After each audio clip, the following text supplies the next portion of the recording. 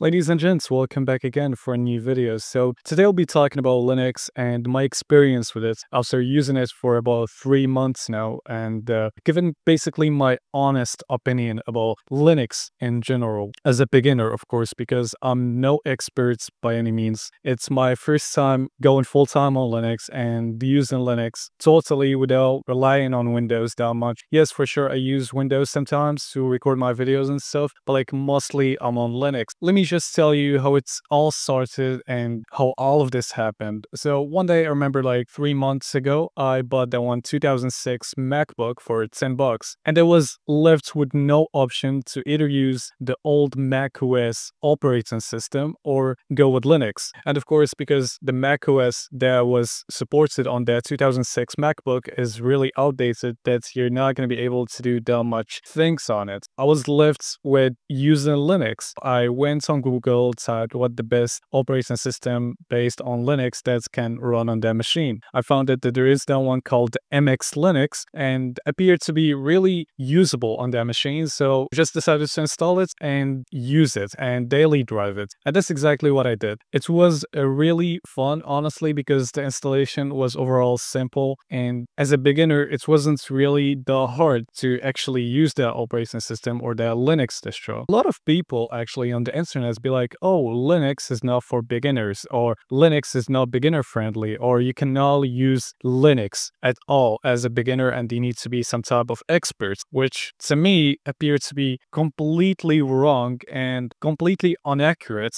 if I'm gonna be honest. I was really afraid to just use Linux in the first place because of the whole propaganda going about it. And yeah, Linux, Linux, Linux. I use Arch by the way. Oh, Arch is not for beginners. Oh, whatever that is. Oh, no, no, no, no, no, no. And then like out of nowhere, I was using Linux just like that. I got into the world of Linux randomly just because a random laptop I bought. And then after playing around with MX Linux, customizing the XFCE desktop environment, changing stuff here and there, uh, basically just messing around with it just to uh, learn a bit more about Linux, I was like, huh, that's not really that hard. So I decided to take it to the next level. And instead of just keeping it on that one machine, I decided to expand. So after that, I decided like to install it on my laptop. It's like an HP laptop from 2012, installed Endeavour OS on it. And that's, by the way, the first Arch-based distro that I ever used in my life. Before even knowing about Linux that much, I used to play around with Ubuntu and even tried Zorin OS for a little bit. Uh, I tried a lot of other distros just for fun, also Kali Linux, but I didn't go really full time with this and just kept this on a virtual machine. That was really surprised. Didn't really expect it to go that well, but it actually did go so well uh, that I was like, why people just say that Linux is really that complicated while it's not. Learned a lot of stuff, learned about desktop environments, learned about how to use it, how to install my applications and all of that. And then it was the big move for me to just decide to install it on my actual desktop that I use for work. Wasn't really a great decision at first because I had to reinstall Linux multiple times along with Windows. The headache of just dual booting Windows and Linux. And sometimes when you install Windows, then you try to install Linux, Windows make an update and ruins the hell out of everything you made and all the progress you have made so far. So I had to just keep reinstalling Linux again and again and again until I found a way to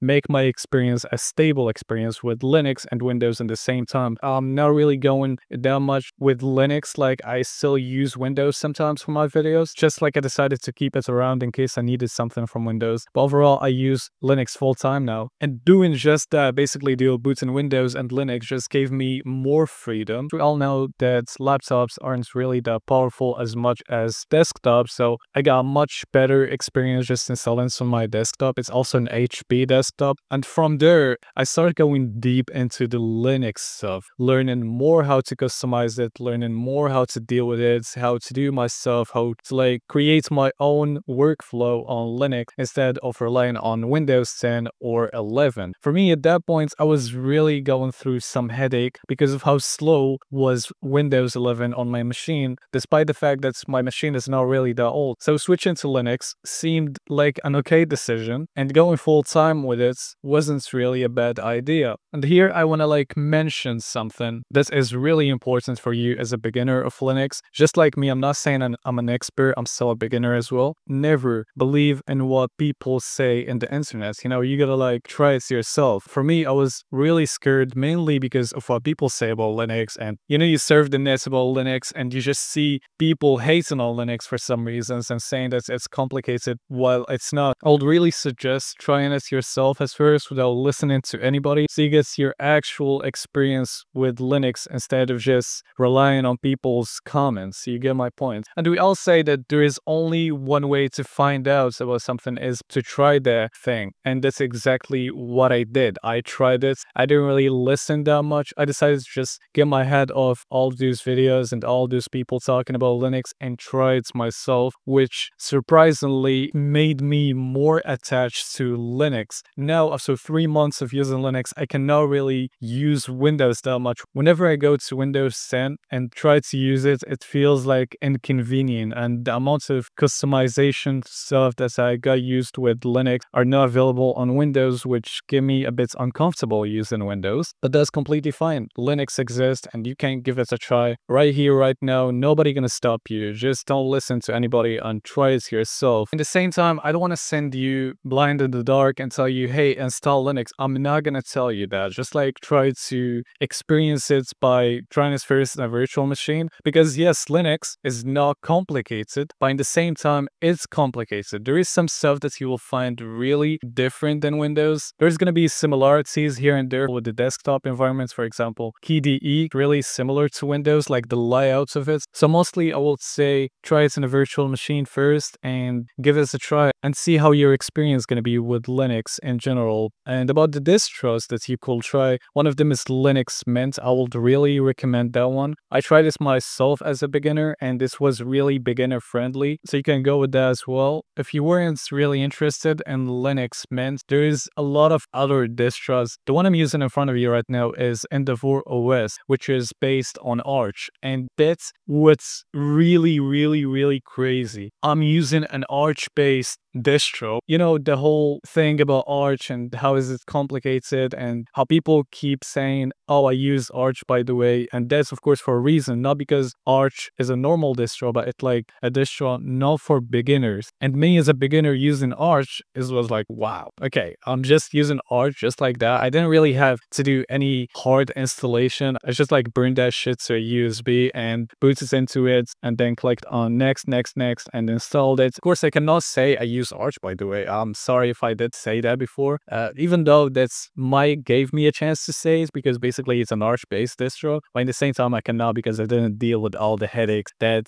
Arch users have to deal with every time they try to install Arch. I don't recommend using Arch as a beginner, okay? I'm not going to tell you to use Arch, but in the same time, it's better, honestly. Like, it's way better than other distros. It's the next level Linux distros that you will use, but as a beginner, go with Linux Mint. I don't recommend Ubuntu. You can go also with Zorin OS. The layout of that thing is also similar to Windows. You will not face that much problems with it. There's a lot of distros that you could give a try. But of course, make your researches. I'm not just going to keep recommending and telling you to install this or that. Of course, like search for a distro that you will like, for something that will be convenient for you so you get the best experience out of Linux instead of dealing with headaches of fixing problems here and there and tinkering with that and playing with that and messing around with that. So you get my points, right? And yeah, this was really it. Three months of using Linux, and they never in my life regretted making such a decision. The thing is that I actually regret is using Windows all this time and not knowing about Linux because of people talking shit about it. That's a really big mistake. I wish I started using Linux a long time ago, but sadly I didn't. It's okay. I still can use it, and here I am using it and enjoying every single bit of it.